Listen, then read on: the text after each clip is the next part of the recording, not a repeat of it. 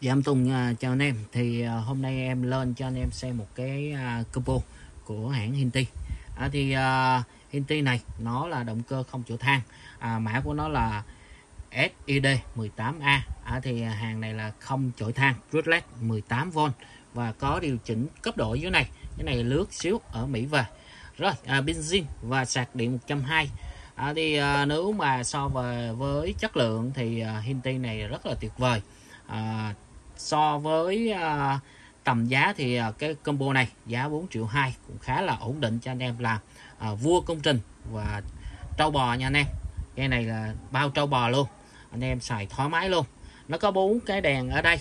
À, và cái này là Mỹ về à, 1 ngàn 2 ngàn rưỡi và hai à, 1 ngàn rưỡi 2 ngàn rưỡi. À, thì nó là 21V à, và sử dụng pin 20 à, pin 3A à, 22V đó thì à, em này à, là 4 triệu 2 combo này. So với tầm giá 4 triệu 2 thì em này là là bao công trình luôn và bao rẻ luôn. Ok. À, thì à, nó là lướt xíu. Cây này chỉ có một cây thôi nha anh em. Anh em nhanh tay. Rồi.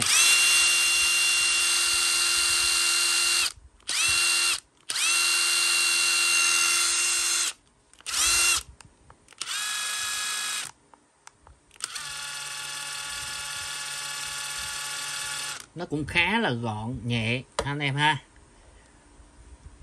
Đấy pin à, thì pin à, zin và sạc zin luôn. Sạc này là sạc nhanh nhất hãng. À, sạc này sạc được pin 36 luôn. À, bộ sơ 436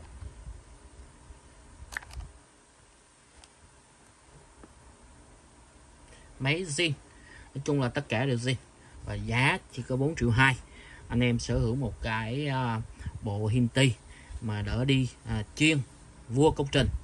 Rồi em Tùng cảm ơn anh em đã quan tâm và theo dõi kênh của em.